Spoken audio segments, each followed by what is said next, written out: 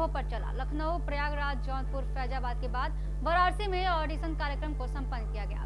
वाराणसी में ऑडिशन कार्यक्रम प्रातः 11 बजे से सायं पाँच बजे तक चला, जिसमें 200 प्रतिभागियों ने अपनी प्रतिभा को दिखाया।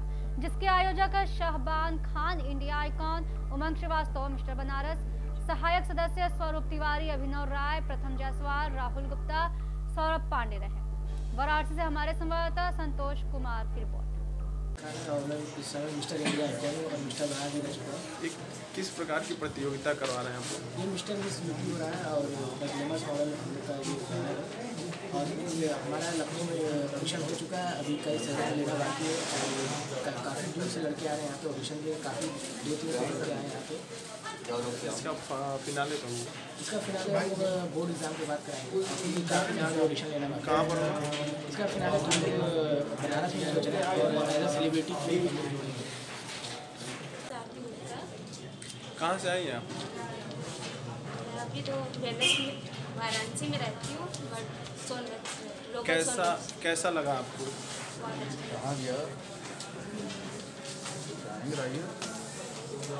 मेरा नाम तनीषा जैन है और मैं वाराणसी से ही हूँ। इस शो में बहुत ही अच्छा एक्सपीरियंस मिला है सभी को क्योंकि यहाँ पे क्वेश्चनिंग राउंड्स वगैरह भी हुए हैं और यहाँ पे जो जजेस थे उन्होंने टैलेंट भी देखा है। और यहाँ पे जितने भी जजेस थे सभी प्रोफेशनल्स हैं। कोई मिस्टर इंडिया है कोई मिस्टर बनारस है। और बहुत सारे लोगों से लोगों से उनसे भी इंट्रैक्शन हुआ उन लोगों ने पूरे हमारे ड्रेसेस के बारे में आउटफिट्स के बारे में और हमारे बारे में कि हम कहाँ से हैं हमारी हॉबी क्या है उन लोगों ने सब चीज़ हम लोग का देखा और प्रॉपर वॉक जो एक मॉडल को आनी चाहिए तो शो सुपर है ये किस प्रकार का प्रतियोगिता करवा रहे हैं आप लोग? कैसा इवेंट है? किस लेवल का है? ये हो रहा है मिस्टर हो रहा है आपका जो कि पाँच शहरों में हुआ है आ,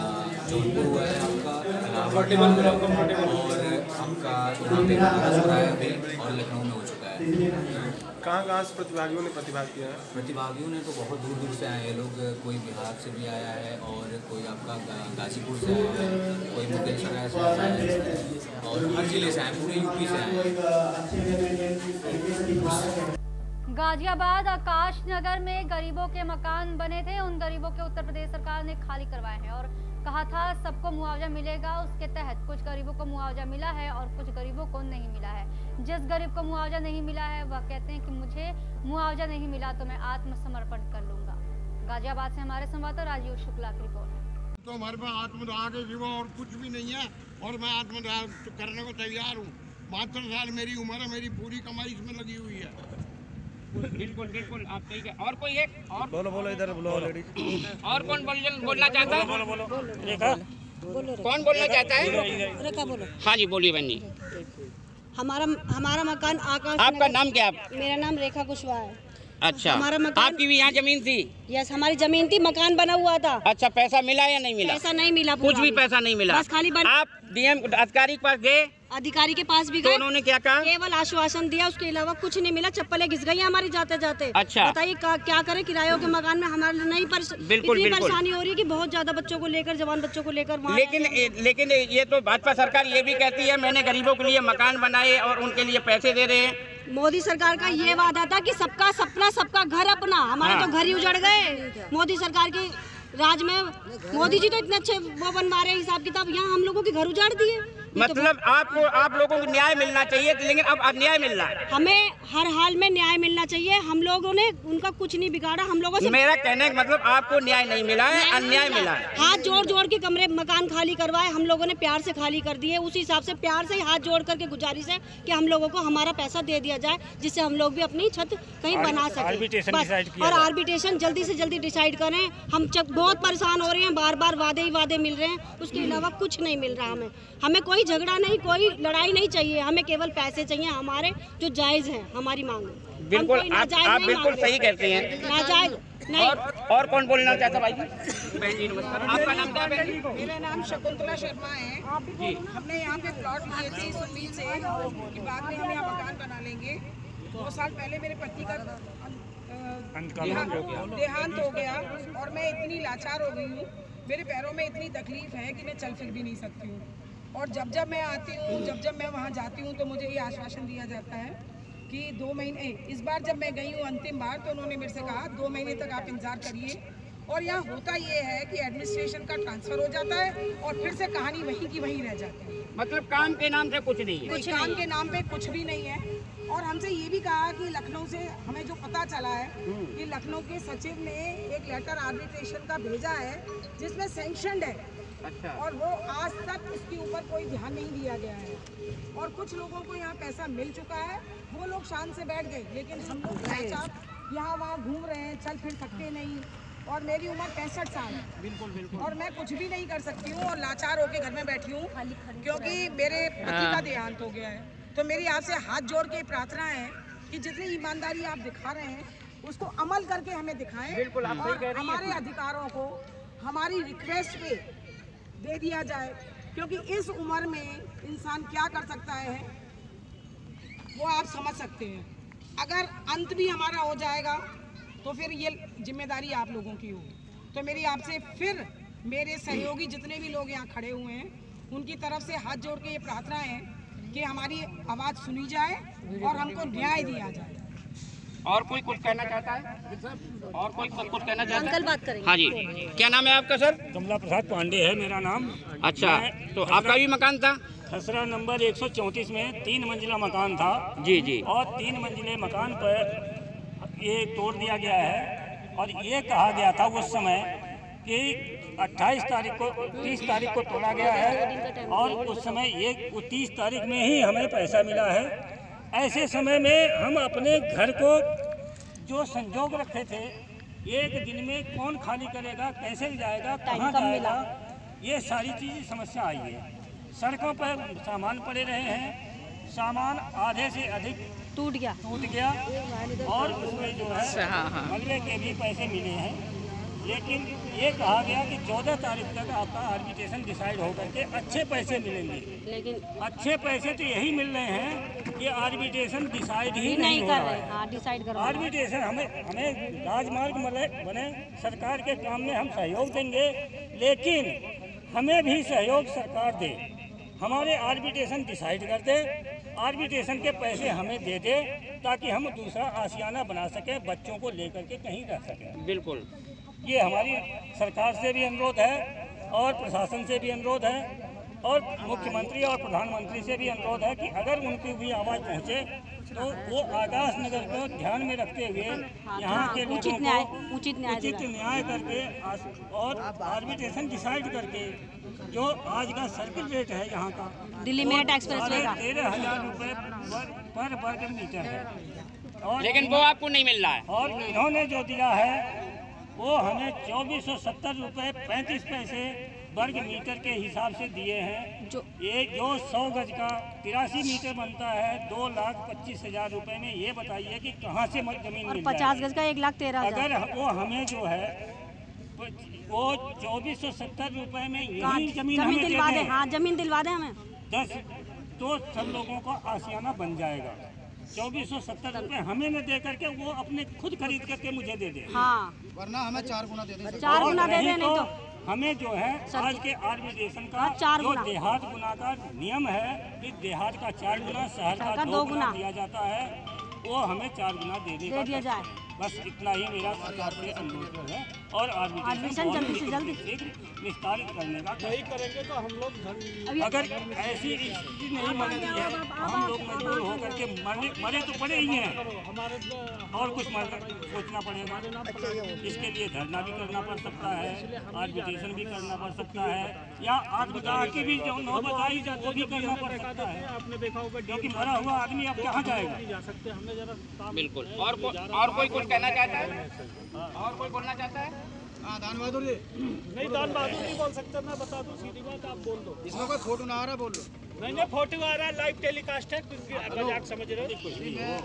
नहीं तो बुलवाया है। तो बोल तो बोल तो सकते ही हैं। क्या हो गया?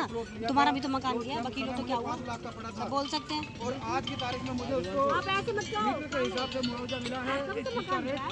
मेरे नाम मकान तो मैं दीदी बोली। मैं यूनिट बोल रहा हूँ मैं नहीं जा सकता क्योंकि मुझे जाना है कहीं इसलिए तो मैं ये कब्जा लिया था ये कहा था कि हम आपको ऐसे गलत आगे चला सीधा रेलवे लाइन की तरफ़ मैंने रहना साफ़ कहना और खरा गलत है वो गलत है। उसमें तो दस गज जगह भी नहीं आएगी। अरे हम भी बोल और आज के रेट आप बोलिए पहले। साढ़े तेरह हज़ार रुपये मीटर है। और जबकि जो हकीकत में यहाँ पर ज़मीन मिल रही है वो कम से कम बीस से पच्चीस हज़ार रुपये गज मिल रही है। तो हम जाए तो जाए कहाँ? हमें कभी चार दिन का आश्वासन उसके बाद दस दिन का आश्वासन उसके बाद पंद्रह दिन हो गए फिर एक महीना हुआ अब की बार दो महीने का टाइम दे दिया हमको और तीन तीन साल हमारे ढाई ढाई साल आर्बिट्रेशन डले हुए हो गया है। आज तक हमारी आर्बिट्रेशनों पर कोई गौर नहीं दी जा रही हमें सिर्फ़ सरकार दे रही है तो एक आश्वासन। उसके अलावा हम लोगों को कुछ नहीं मिल रहा। और हम पड़े हैं रोड पर यहाँ पर। ज़िंदगी उसी है दस साल में जाए। हम पीछे मुड़ के मत देखो। पैसा तो जोड़ छूट नहीं गया पाए। दोबारा से हमें हमें गवर्नमेंट ने डेढ़ लाख रुपया दे दिया और कह दिया घूमो जहाँ जाना है तुम्हें। जहाँ जाना है वहाँ ये कह दिया। हाँ मुझसे नहीं आता मैं बोलना ये सब घूमे और सही रहेगा ये सब कभी एसडीएम साहब के पास जाते हैं कभी क्या बोलूँ? हैं सब लोग वही हमें ये आश्वासन दे रहे हैं। बताइए ये ये न्याय के न्यायाधीश हैं। जिनको मिलना चाहिए न्याय न्याय की संहिता भी यही कहती है कि न्याय मिलना चाहिए। वहाँ ADM city upper district magistrate उनका कहना है कि जाइए जहाँ मरिए। तो इनकी क्या न्याय की प्रक्रिया है? या अन्याय की प्रक्रिया है। धर्म के संहिता पर अगर चला जाए तो इनको न्याय मिलना चाहिए। लेकिन इनसे साफ़ कह दिया जाता है कि जहाँ जाइए वहाँ मरिए जाके। ये कैसी न्याय है? और कोई कुछ कहना चाहता है? और कोई बोलना चाहता है? और कोई कुछ कहना चाहता है? क्या नाम है आपका? मेरा नाम दिनेश दिनेश कुमार चौहान है। अच्छा आपके साथ क्या हुआ? मैंने यहाँ पे 2012 में प्लॉट लिया था। 200 गज का प्लॉट है मेरा। तो एक सौ तिरासी मीटर के बराबर बैठता है। उस समय मेरा तेरह लाख रुपया खर्च हुआ था और रजिस्ट्री में सत्तर हज़ार रुपये लगा था। आज जो है, ये मेरा प्लॉट जो है, दिल्ली मेरठ एक्सप्रेस पे हाईवे में आ गया है। अभी हम एडमिनिस्ट्रेशन से कह रहे हैं कि हमारा पैसा दे दीजिए, उचित मुआवजा दे दीजिए। हम जाते हैं तहसील में, वकील भी हमने हायर किया, वकील ने भी हमसे पैसा ले लिया। दो वकीलों ने पैसा ले लिया है। लेकिन हमारी फ़ाइल जो है आर्बिट्रेशन की फ़ाइल को देखने को तैयार नहीं है। मैं कई बार जो है ADM साहब से मिल चुका हूँ तो वो यही कहते हैं कि अभी तुम्हारा कुछ नहीं होगा अपनी फ़ाइल अपने घर ले जाओ। कुछ नहीं होगा जब होगा जब बता देंगे आपको। तो इस तरह से हमारी ज़मीन फ्री फंड में हड़प ली है सरकार ने। सरकार से निवेदन है कि हमारा पैसा जल्दी से जल्दी दिलवाएँ क्योंकि हम प्राइवेट नौकरी करने वाले हैं। पूरा जो जमा पूंजी थी सब हमने इस प्लॉट में लगा दी थी। आज जो है पैसे पैसे के लिए मोहताज हो रहे हैं। तो गवर्नमेंट से मोदी जी से योगी जी से और जो हमारे जनरल वी के सिंह लोकल एमपी हैं उनसे यही निवेदन है कि हमारा जल्दी से जल्दी इस मसले का निपटारा कर दिया जाए। और नहीं करेंगे तो मेरे सामने एक ही रास्ता है कि मैं यहाँ पे आमरण अनशन पर बैठ जाऊँ और आत्महत्या कर लूँ जिसकी ज़िम्मेदारी सरकार की होगी। प्रशासन की होगी। जिसकी ज़िम्मेदारी प्रशासन की होगी। और कोई बोलना चाहता है? और कोई बोलना चाहता है? कोई कुछ कहना चाहता है?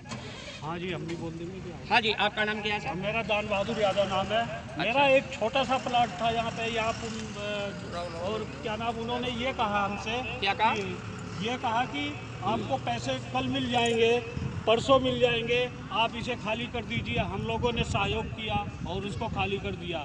हमारे साथ और भी सब 200 मकान बने हुए थे यहाँ। सब गरीब आदमी तबके लोग रहते हैं।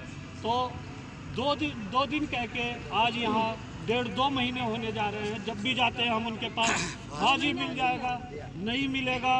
आया, अब तो सरकारी ज़मीन थी। आप, आपने क्यों मकान वहाँ बनाया? हमने पूछा उनसे कि आपने रजिस्ट्री क्यों किया? या आपने वहाँ पे कोई आइडेंटिफिकेशन या निशानदेही लगाया था? तो असल में बात यह है कि इनकी पहले यहाँ प्लानिंग नहीं थी। इन्होंने एकाएक इस ज़मीन को ज़बरदस्ती हड़पा और क्या नाम दो तीन महीने या पाँच छः महीने एक साल में इन्होंने यहाँ नक्शा बना के बिना आइडेंटिफिकेशन के ना बिना रजिस्ट्री पर रोक लगाए हुए हमारे लोगों के गरीब मजदूरों की ज़मीन को हड़प लिया इन्होंने। और उसके बाद पैसा देने की बात आ, आ रही है। तो कह रहे हैं हमने तो 2011 में एक्वायर्ड कर लिया था लेकिन ये सही बात नहीं है। अगर इन्होंने 2011 में एक्वायर्ड किया था तो यहाँ पे कोई निशानदेही या कोई और रजिस्ट्री पर रोक लगाना चाहिए था। लेकिन ये झूठ है झूठ पे झूठ बोल के और जो है मुआवजा उचित मुआवजा की बात छोड़ो। जो यहाँ का सर्किल रेट है साढ़े तेरह हज़ार रुपये प्रति वर्ग मीटर है वो ये कहते हैं कि चौबीस सौ सत्तर के हिसाब से किसी किसी का दे दिया और कहते हैं हमने तो दे दिया है जी वही उसी पर संतोष करो। अब तुम्हारी कोई ज़मीन नहीं थी ना कोई तुम्हारा यहाँ मकान है। अब आगे तुम जानो वहाँ दिखाई मत दो। ये मत करिए। हाँ। मैं और हमारी समस्त टीम न्यूज़ इंडिया आपके साथ है। और मैं राजीव शुक्ला बीरो चीफ गाजियाबाद से पूर्ण रूप से आश्वासन देता हूँ, मैं आपकी आवाज़ यहाँ से लेकर सरकार तक पहुंचाऊँगा। सरकार से लेकर विश्व तक आपकी आवाज़ पहुंचाऊँगा। और जब तक इस तन में, आपका भाई के तन में ये जान है और आपके साथ में हमेशा लड़ता रहेगा और हमेशा आपके सहयोगी बनता रहेगा। इसके साथ साथ में मैं अपील करना चाहता हूँ, अपनी सरकार से आप जो कहते हैं कि गरीबों के लिए एक से एक योजना जो देते हैं, क्या यही गरीब गरीब का आपका न्याय है? जहाँ न्याय संहिता कहती है, न्याय मिलना चाहिए, वहाँ उनके साथ अन्याय हो रहा है। मैं इसका कारण जानना चाहता हूँ इस फास्ट न्यूज़ के, इन गरीबों के सहित और आप लोगों को यहाँ तक कि आपके ही पार्टी के मोदी को राम के रूप में बताते हैं और अमित शाह को ये अवतार बताते हैं तो मानना चाहिए कि अवतार किन तथ्यों से हुआ है ईदा ईदा ही धर्मस गिलानिन भवत भारतस। अभ्युदानन सृजनम यद अवतार होता है, योगी जी, मोदी जी, यद अवतार होता है तो गरीबों की रक्षा के लिए, अवतार होता है दीन दुखियों की रक्षा के लिए, अवतार इसलिए नहीं होता है कि इनका हक मान लिया जाए। मैं भी प्रार्थना करना चाहता हूँ, इनको सही तरीके से जो पैसा हक है और इनकी हक की लड़ाई है इनको नहीं मारना चाहिए और इनको सही उचित दाम दिलाना चाहिए।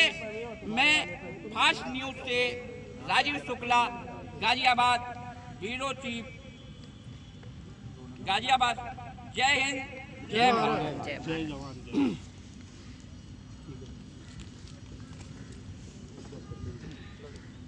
नौ क्षेत्र के ग्राम सभा, गजपतपुर गाँव में भीम आर्मी की जनसभा का आयोजन। इस कार्यक्रम के मुख्य अतिथि मंडल प्रभारी मनोज कुमार गौतम एवं विशिष्ट अतिथि जंगीपुर विधानसभा अध्यक्ष शत्रुघ्न रहे। इस कार्यक्रम की शुरुआत भगवान बुद्ध और डॉक्टर भीमराव अंबेडकर के चित्र पर पुष्पांजलि अर्पित करके कार्यक्रम की शुरुआत की गई। इस कार्यक्रम की अध्यक्षता ग्राम प्रधान हरिकेश यादव एवं संचालन मार्कंडे प्रसाद ने किया। इस अवसर पर उपस्थित आशुतोष कुमार, बंधन सोनू कुमार, पवन कुमार, रवि कुमार, अनिल कुमार समस्त साथियों के साथ संपन्न किया गया। गाजीपुर से हमारे संवाददाता विजय कुमार की रिपोर्ट। ये थे के समाचार। जानेंगे आगे के समाचार। छोटे से ब्रेक के बाद। आइए अगले कड़ी में चलते हैं। एक सर और है, इनसे बात कर लेते हैं कि ये जो मिशन चलाया जा रहा है, इस मिशन के बारे में क्या बताना चाहते हैं? देखिए, इस मिशन का मेन यही उद्देश्य है जो नौजवान हैं, कम उम्र में ही नशा करके अपनी ज़िंदगी को नष्ट कर दे रहे हैं। नशा मुक्त, मुक्ति हो और शिक्षा के ऊपर फोकस दिया जाएगा। और हर गाँव में और हर ज़िले में नौजवानों की एक टीम खड़ी हो और हर गाँव में छोटे छोटे बच्चे को, बच्चों को शिक्षा देने का काम करेंगे। सबसे शिक्षा को महत्व शिक्षा सामाजिक पूंजी से समाज का एक विकास हो सकता है। इसके बाद संगठन में S C, S T, O, B, C minority में एक युवा हर समाज से जुड़े एक टीम हमारी तैयार हो। भीम आर्मी के नाम से होगी। बहुजन की लड़ाई लड़ेगी। S C, S T, O, B, C minority की लड़ाई लड़ेगी। उनके अधिकारों की लड़ाई लड़ेगी। अधिकार जो संविधान से मिला है उस संविधान की रक्षा करने के लिए हम लोग आगे आए सर आप इसके बारे में क्या कहना चाहते हैं? सबसे पहले तो आपकी टीम को कचबतपुर ग्राम में हम लोग आए हैं। यहाँ के सारी टीम को जितने भी यहाँ पर पदाधिकारी हैं। और इसके साथ ही बहुत सारे लोग यहाँ पर उपस्थित हैं सब लोगों का भी स्वागत हम लोग करते हैं जैसा कि आप जान रहे हैं कि भीम आर्मी एक शिक्षा का शिक्षा देने का काम बाबा साहब का मूल रहा है साथ ही जैसा भैया बता रहे थे के में हम लोग हमेशा गरीब तबके की मजदूरों की लड़ाई लड़ने का काम करते हैं। और अपने लोगों को अपने बहुजन समाज में हमेशा विकास की बात करते हैं। विकास तब होगा जब व्यक्ति शिक्षित होगा शिक्षित होगा संविधान पढ़ेगा धाराओं को जानेगा और सारे लोगों को जागरूक करने का काम करते हैं मैं Vijay Kumar, first India, TV channel.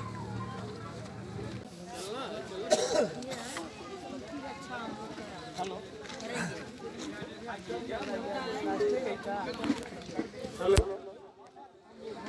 Kumar, first news India, TV channel. क्या ग्राम सभा गजपतपुर में भीम आर्मी के कुछ नौजुवकों को यहाँ पे चुना गया है, उनके काम बताया गया है। और यहाँ पे कुछ पदाधिकार पदाधिकारी लोग भी हैं। इनसे आइए, इन लोगों के बारे में जानना चाहता हूँ कि ये लोग क्या उनको राय दिए हैं और किस प्रकार काम करने के लिए बता रहे हैं। आइए, मैं विधानसभा जंगीपुर के अध्यक्ष साहब से बात करना चाहता हूँ। सर, आप भीम आर्मी के बारे में इन लोगों को क्या जागरूक करना चाहते हैं? जैसे कि सबसे पहले मैं बाबा साहब को नमन करता हूँ और भीम आर्मी भारत एकता मिशन जंगीपुर विधानसभा का अध्यक्ष मुझे चुना गया है और इसके इसके साथ में मैं अपनी पूरी टीम को तैयार करने की कोशिश कर रहा हूँ, जिसमें मैं गजबलपुर ग्राम सभा में शिवानंद मौर्य को मैंने यहाँ पे ब्लॉक का उपाध्यक्ष नियुक्त किया है और मैं यही उम्मीद करता हूँ कि अपनी टीम को लेके हमारे भीम आर्मी मिशन को आगे बढ़ाए और जोशो जुल्लास के साथ में इसको और पापा साहब के पालन का आज्ञा के पालन करें। आइए यहाँ के नए ब्लॉक अध्यक्ष जी से बात करना चाहता हूँ, जिनका अभी अभी चुनाव हुआ है। आइए यहाँ पे ग्राम सभा गजपतपुर में। जय भीम। मिशन को लेकर के यहाँ पे भीम आर्मी के लोग आए हुए हैं और पता करते हैं कि बच्चों को क्या संदेश देना चाहते हैं। सर, भीम आर्मी के बारे में लोगों को यहाँ के क्या जागरूक करना चाहते हैं? यहाँ की जनता से यह जागरूक करना चाहते हैं हम लोग सबसे पहले शिक्षा को महत्व शिक्षा एक सामाजिक पूंजी है इससे समाज का एक विकास हो सकता है। इसके बाद संगठन में S C S T O B C minority के में एक युवा हर समाज से जुड़े एक टीम हमारी तैयार हो जो भीम आर्मी के नाम से होगी। बहुजन की लड़ाई लड़ेगी S C S T O B C minority की लड़ाई लड़ेगी उनके अधिकारों की लड़ाई लड़ेगी। और अधिकार जो संविधान से मिला है उस संविधान की रक्षा करने के लिए हम लोग आगे आ रहे हैं। सर आप क्या चाहते हैं? बहुत बहुत गजबतपुर ग्राम में हम लोग आए हैं यहाँ के सारी टीम को जितने भी नवनियुक्त यहाँ पर पदाधिकारी बनाए गए लोगों को साधुवाद और इसके साथ ही बहुत सारे लोग यहाँ पर उपस्थित हैं, सब लोगों का भी स्वागत करते हैं जैसा कि आप जान रहे हैं कि भीम आर्मी शिक्षा। शिक्षा देने का। बाबा साहब का ज़्यादा फोकस करते हैं साथ ही जैसा आप ये बता रहे थे हमारे मंडल अध्यक्ष अमित तिवारी बता रहे थे कि हम लोग हमेशा गरीब तबके की मजलूमों की लड़ाई लड़ने का काम करते हैं। और अपने लोगों अपने बहुजन समाज हमेशा विकास की बात करते हैं। विकास तब होगा जब व्यक्ति शिक्षित होगा शिक्षित होगा, संविधान पढ़ेगा, धाराओं को जानेगा और सारे लोगों को जागरूक करने का काम करते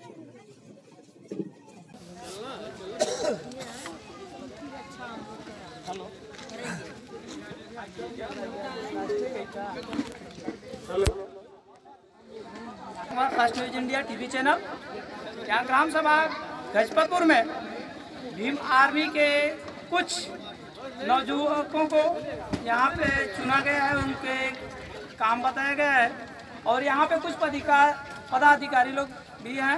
इनसे आइए इन लोगों के बारे में जानना चाहता हूँ कि ये लोग क्या उनको राय दिए हैं और किस प्रकार काम करने के लिए बता रहे हैं।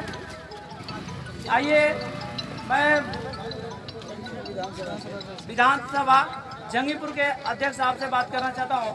सर, आप भीम आर्मी के बारे में इन लोगों को क्या जागरूक करना चाहते हैं? जैसे कि सबसे पहले मैं बाबा साहब को नमन करता हूँ और भीम आर्मी भारत मिशन जंगीपुर विधानसभा का अध्यक्ष मुझे चुना गया है और इसके इसके साथ में मैं अपनी पूरी टीम को तैयार करने की कोशिश कर रहा हूँ, जिसमें मैं गजपतपुर ग्राम सभा में शिवानंद मौर्य को मैंने यहाँ पे ब्लॉक का उपाध्यक्ष नियुक्त किया है और मैं यही उम्मीद करता हूँ कि अपनी टीम को लेके हमारे भीम आर्मी मिशन को आगे बढ़ाए और जोश जुल्लास के साथ में इसको और पापा साहब के पालन का आज्ञा के पालन करें। आइए यहाँ के नए ब्लॉक अध्यक्ष जी से बात करना चाहता हूँ, जिनका अभी अभी चुनाव हुआ है। आइए यहाँ पे ग्राम सभा गजपतपुर में। जय भीम। मिशन को लेकर के यहाँ पे भीम आर्मी के लोग आए हुए हैं। और पता करते हैं कि बच्चों को क्या संदेश देना चाहते हैं। सर, भीम आर्मी के बारे में लोगों को यहाँ के क्या जागरूक करना चाहते हैं? यहाँ के जनता से ये जागरूक करना चाहते हैं हम लोग कि सबसे पहले हम लोग शिक्षा को महत्व दें। शिक्षा एक सामाजिक पूंजी है इससे समाज का एक विकास हो सकता है। इसके बाद संगठन में S C S T O B C minority field में एक, युवा हर समाज से जुड़े एक टीम हमारी तैयार हो, जो भीम आर्मी के नाम से होगी। बहुजन की लड़ाई लड़ेगी। S C S T O B C minority की लड़ाई लड़ेगी उनके अधिकारों की लड़ाई लड़ेगी और अधिकार जो संविधान से मिला है उस संविधान की रक्षा करने के लिए हम लोग आगे आ हैं? सबसे पहले तो वो आपकी टीम को बहुत बहुत धन्यवाद। गजबतपुर ग्राम में हम लोग आए हैं। यहाँ के सारी टीम को जितने भी नवनियुक्त यहाँ पर पदाधिकारी बनाए गए सर उनको धन्यवाद और इसके साथ ही बहुत सारे लोग यहाँ पर उपस्थित हैं, सब लोगों का भी स्वागत करते हैं जैसा कि आप जान रहे हैं कि बीमार आर्मी एक शिक्षा। शिक्षा देने का काम करता है। बाबा साहब का बहुत रहा है इस पर ज़्यादा फोकस करते हैं साथ ही जैसा आप ये बता रहे थे बता रहे थे कि हम लोग हमेशा गरीब तबके के मजलूमों की लड़ाई लड़ने का काम करते हैं और अपने लोगों को अपने बहुजन समाज हमेशा विकास की बात करते हैं विकास तब होगा जब व्यक्ति शिक्षित होगा। शिक्षित होगा, संविधान पढ़ेगा, धाराओं को जानेगा और सारे लोगों को जागरूक करने का काम ब्रेक के बाद बार फिर से आप सभी का स्वागत है और आइए खबरों का सिलसिला आगे बढ़ाते हैं। उत्तर प्रदेश के गाजीपुर के दिलदार नगर ओसिया बीके महिला विद्यालय में, महिला महाविद्यालय में Jiya educational and welfare trust ने बच्चों व बच्चियों को किया सम्मानित। कार्यक्रम के मुख्य अतिथि हुसना रुस्तम खान, जज औरंगाबाद महाराष्ट्र रही। मुख्य अतिथि ने बच्चे और बच्चियों को संबोधित करते हुए कहा कि आज हमें चाहिए कि बच्चियों पर ज़्यादा ध्यान दें, उनको शिक्षित करें। इस कार्यक्रम का आगाज़ कुरान शरीफ के तिलावत से किया गया। मौलाना सालिम साहब ने तिलावत की और सिमरन खातून ने नात पढ़ी। इस कार्यक्रम की अध्यक्षता मोहम्मद इकबाल खान ने की। इस कार्यक्रम के आयोजक बिस्मिल्ला एजुकेशन फाउंडेशन के निर्देश निदेशक खान जियाउद्दीन रहे। इस कार्यक्रम का संचालन खान जियाउद्दीन ने किया। विशिष्ट अतिथि के रूप में सरवर महमूद व मास्टर करीम रजा रहे। सम्मानित होने वाले लोगों में, जिनको अलीम अवार्ड से सम्मानित किया गया, Mohammad Sibgatullah Khan, doctor S T Singh, master Muniruddin Khan, doctor Wasim Raza, Afsar Khan, Sagar Ishtiyaq Khan, Dudhnath Kushwaha, Fatima girls inter college, Shams Tabrez Shams Tabrez Q E C school? आदि गुलाम खान लाल परी, एहतशाम निजामी आफ्ताब नदवी, सलीम साहब, तौसीफ नसीम रजा, मोहसिन वसीम, मुस्लिम राजा आदि लोग मौजूद रहे। गाजीपुर से हमारे संवाददाता ज़फ़र इकबाल की रिपोर्ट।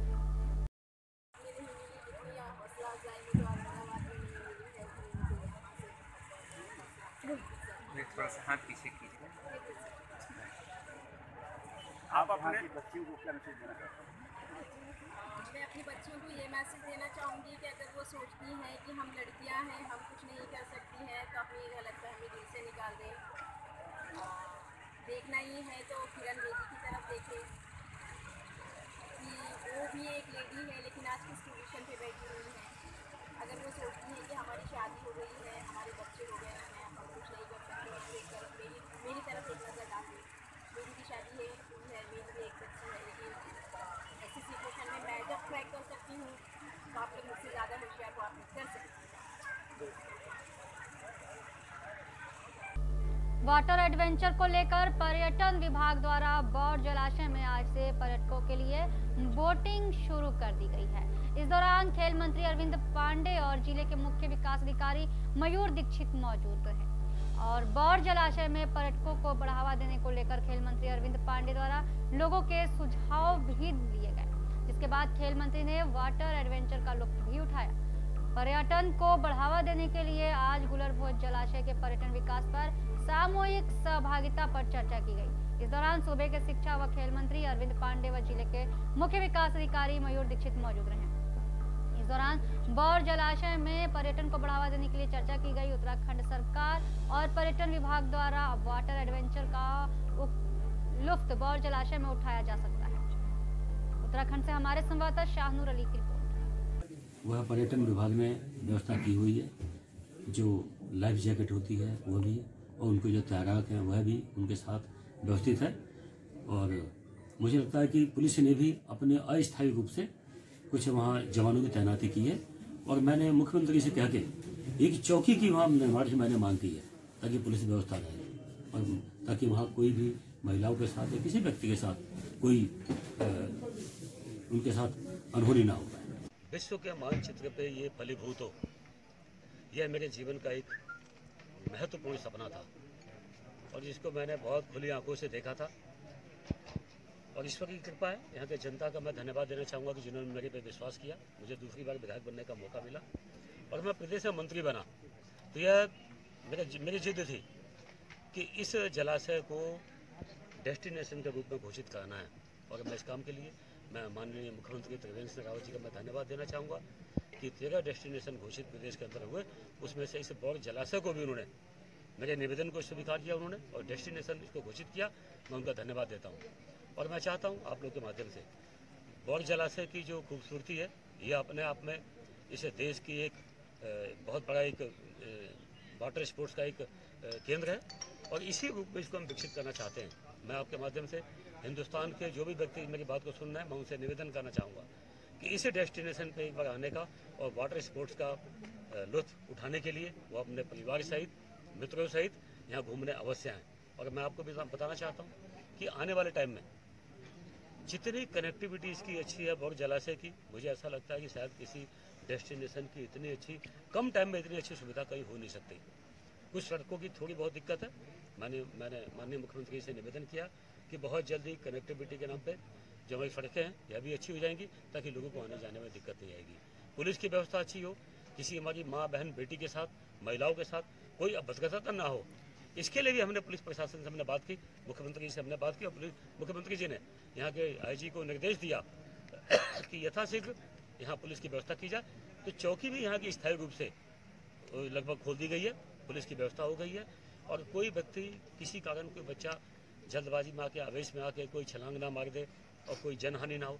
इसके लिए एस डी की जवानों की भी व्यवस्था हमने की है और आने वाले टाइम में एक बहुत अच्छा माहौल बनेगा और मैं ये जो यहाँ बोर जलाशय है, यहाँ पर दो जलाशय बोर जलाशय, हरी हरी, हरिपुरा जलाशय। बोर जलाशय और हरिपुरा जलाशय को तेरह डिस्ट्रिक्ट तेरह डेस्टिनेशन के अंतर्गत इसको चयनित भी किया गया है। और इसमें अभी बोटिंग का, विभिन्न प्रकार की नौकाओं का इसमें जेट स्की है डोनेट बोट है बनाना बोट है और भी पैडल बोट है। इस प्रकार की बोटों का यहाँ पर संचालन शुरू किया गया है और जिस पर भी, काफ़ी लोगों के द्वारा राइड किया जा रहा है और इसको विकसित करने के आगे प्रयास किए जा रहे हैं और हमारा भी प्रयास है आप लोगों के माध्यम से कि इसको ज़्यादा से ज़्यादा पब्लिसिटी मिले ज़्यादा से ज़्यादा प्रचार प्रसार हो और यहाँ पर ज़्यादा से ज़्यादा टूरिस्ट आ सके। इसके लिए हमें जो नैनीताल का टूरिस्ट और रामनगर कार्बेट का टूरिस्ट को भी अट्रैक्ट करने के प्रयास कर रहे हैं। इसके लिए हमें विभिन्न स्थानों पर साइनेज वगैरह लगाने की व्यवस्था करेंगे। इस प्रकार से इसको डेवलपमेंट करने का प्रोग्राम चल रहा है। के समाचार आए कुछ खास खबरों के लिए देखते रहिए फास्ट न्यूज़ इंडिया धन्यवाद।